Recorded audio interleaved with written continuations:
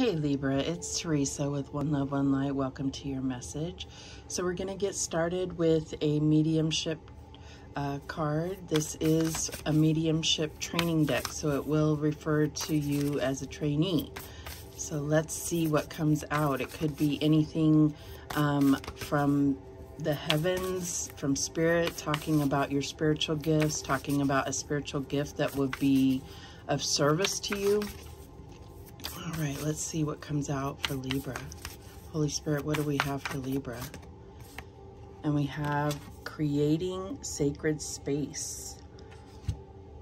So I feel like this is having to do with protection and creating, you know, your own sacred space. So it says sacred space is simply a way to hold the energy of spirit in an honorable, loving, and gracious manner. This card is a sign that it's time for you to create a sacred sp space that's unique and personal to you where you can commune with spirit. Creating sacred space for spirit is a practice honored by mediums and spiritual practitioners from many traditions. Calling in the light of spirit to enhance your meditation or sitting in its power can both be helpful in creating a safe space for spiritual and mediumship practice. Some people like to burn sage, light candles, play music, and meditate or pray before working with spirit as a way of creating a loving, inviting environment for spiritual connection and communication. Why not create an altar in a special place in your home, home or office to make that space sacred. Using crystals, spiritual icons, flowers, or spiritual images can enhance the sacredness of the space. By working regularly in this space, it will become more infused with spiritual energy. The most important thing that's needed when you're creating sacred space is a loving intention. This can be used wherever you are, anywhere in the world. Try it. Take a breath of loving awareness into your heart. In your own words, ask for a clear, healing connection between you and the spirit world. Always share gratitude to Spirit for hearing and honoring your intention. So I feel like this is coming to your attention because there's definitely something going on in your environment that is um, like we all need sacred space, I feel like, but there's something in your environment that is creating um, spirit to really bring this to your attention because of maybe chaos, chaos in your environment or you know, just um, the need for protect a protective place to really connect. So I feel like you're also being asked to um, lovingly connect with spirit on a more regular basis in a more positive environment. All right, what else do we have for Libra? And we have tune into the rhythm of nature. Let us connect together there. So you may find that bringing nature into your sacred space or creating a sacred space in nature could be out in your backyard, could be in, you know, in a, um, you know, a meadow, a meadow nearby your house is what I'm getting. I'm also, I think these are poppies. So um, some of you may be from California is what I'm getting here. This is number 40.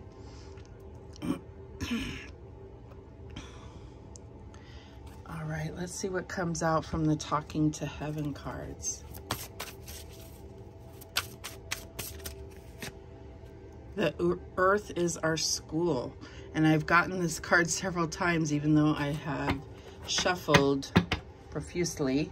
So I feel like this is really telling you that there's something for you to learn and this is also um, spirit, you know, the angels, your passed on loved ones, and your spirit guides letting you know that this is a time for learning everything you can about experiencing things in, in the physical. Excuse me. This is about learning lessons and clearing karma. You know, this is about the earth being a time for a time.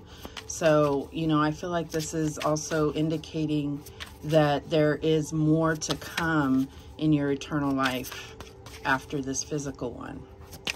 All right, so what else do we have for Libra? And we have the Ace of Swords, newfound clarity. So I feel like there's something that in your recent past, you finally um, are in a um, very focused and like a realization is coming to you. This could be a new opportunity. This could be, you know, a new challenge, but this is also considered the victory card. So I feel like something has um, really, some kind of breakthrough has really happened for you. And it could be that a breakthrough is coming by doing these things, by clearing a space, by being out in nature, and really connecting with spirit. What else do we have? And we have judgment, earned reward.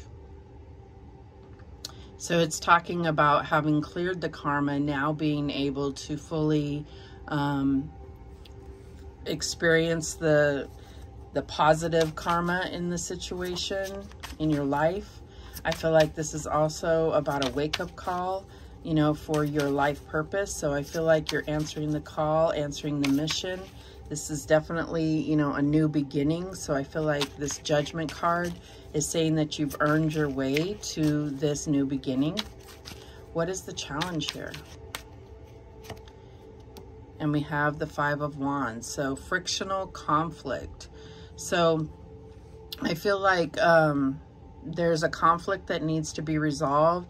You're already being told that you're going to have clarity in the situation that you are um, going to have victory. So I feel like that that makes it um, less confrontational when you can just let things play out. You have already been assured and protected and guided towards victory. So I feel like whatever the situation is, you're going to um, just knowing that you're going to be victorious is going to give you the confidence and the um, what's the word I'm looking for? Kind of like the being able to withdraw from the outcome without trying to force the outcome because you already know what it's going to be. All right, so what is the advice from Spirit here? And we have the Page of Cups. Look at that. It's so cute. Um, new excitement. So I feel like there's something like an emotional offer, emotional message. I feel like something involving romance and love is coming into your life. This could be um, a message, a message like a love letter. Um, I'm also getting that there's something that you're really feeling good about. All right, so what is the outcome here? And we have the nine of coins. So prosperous victory. So this could definitely be a message about a job well done. This could be a contract that you completed and you're getting the reward from that. I feel like um, whether this is in work or spiritual, most of this is spiritual in nature, but I feel like all things are connected for you. So I feel like this independent feeling, this um, achievement that you feel is really bringing in some new emotional fulfillment here. At the bottom of the deck, we have the Queen of Cups. So intuitive compassion. So I feel like this is really opening up your heart to a situation and I feel like you're going to trust your intuition which is going to guide you the best to your highest path here. And I also feel like there may be um, you know, an emotional person, emotional feminine person that is in your spiritual team, like a passed on loved one or an ancestor, spiritual guide, that's really pulling for you and guiding you towards a more emotionally fulfilled life. So I feel like that's what um, this is all about. So this could definitely be about pursuing a career in something that brings you this emotional fulfillment. Um, this could also be about you know, with this nine of coins about um, following your heart to open a new, you know, open your own business or this could also be about relationships with this judgment card here. We could definitely um, see a reunion happening here. And I feel like everything, it's like you're going to look back and say everything happened the way that it was supposed to um, to get you to this moment here. Even the hard times, even the challenges here. I feel like that's where your clarity is coming in is, is understanding that everything you went through was meant to teach you something. We have this, the earth is our school. All right, so let's clarify. Show me that Ace of Swords. And we have the Ace of Cups, so emotional readiness. So I definitely see that um, there were certain things that happened in order for you to learn to love yourself, in order for you to open your heart to new situations. And so I feel like that's what's happening here. A brand new beginning, a victorious and successful beginning, and so I feel like that's what's happening here. And it's going to bring you that emotional fulfillment. It's like it had to start with this clarity and understanding of loving yourself. So show me that judgment card. And we have the King of Cups. So we do have a divine partnership here. So it could be that you're dealing with a water sign, but I just feel like this is a place where you're both um, coming together. Probably um, this is a past relationship or reunion, or it's like we've had conflict and now we may have been separated, but now we're really coming together and giving this uh, a better go, if that makes sense to you. So I feel like, you know, there there may be an apology with this Page of Cups here, an apology or a realization that um, that this is a love worth fighting for. All right, show me this Five of Wands as the challenge. And we have the Nine of Coins again. So prosperous victory again. So I definitely feel like if there was a conflict between this relationship that it was over, could have been over money or could have been over someone that spent too much time um, more time focused on work. And I feel like that this is where you're getting a new beginning to actually give it a proper go. And I just had the next card fly out. Hold on. Okay, and we have the Seven of Cups, Grandiose Temptation. So I feel like that is part of this is finding your how you really feel about all the stuff that's going on around you. The Seven of Cups definitely can be like a lot of overwhelming energy going on around you to where it confuses your emotions. You can't connect with your heart. But I feel like that's what's happening here is that you're coming into really connecting to your heart and understanding how you feel about this situation. And it is a love worth fighting for. All right, show me that nine of coins. And we have the Nine of Swords, reliving past trauma. So I feel like this is also about some of this conflict could have come from past trauma. This could be um, holding back or not opening your heart fully because of the traumas that you've been through.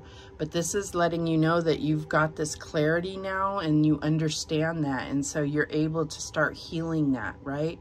And I feel like that's where the sacred space is going to be so crucial and understanding that it was a lesson you were meant to learn and a karmic um, event to really um, set the stage for this to be this most fulfilling love here.